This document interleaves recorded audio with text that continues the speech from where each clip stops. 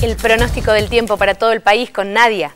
Así es, Patricia. Comenzamos por la ciudad de Buenos Aires contándoles que el día va a ser muy agradable. La máxima 32, bien cálida, pero durante la noche del jueves hacia el viernes es altísima la probabilidad de tormentas. Y nos vamos a ver qué pasa en el resto del país.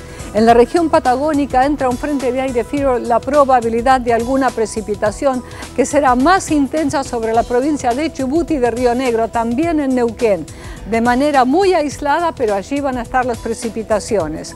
En la zona central, La Pampa, sur de Buenos Aires, a partir de la tarde comienza la probabilidad de algunos chaparrones con ráfagas de viento.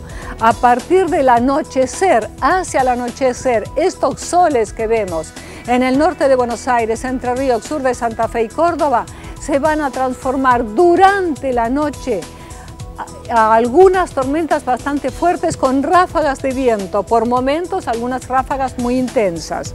En Cuyo, hacia la noche, porque ahora tienen el cielo despejado, en San Luis la probabilidad también de alguna tormentita ahí aislada. Noroeste, se van para arriba las temperaturas. Fíjense, Tucumán, 40 grados para hoy. Santiago del Estero, Catamarca, La Rioja no están muy lejos de esa marca tampoco. Noreste, también bien altas las temperaturas. Noreste, las temperaturas bien altas también, fíjense, para Posadas 35 grados.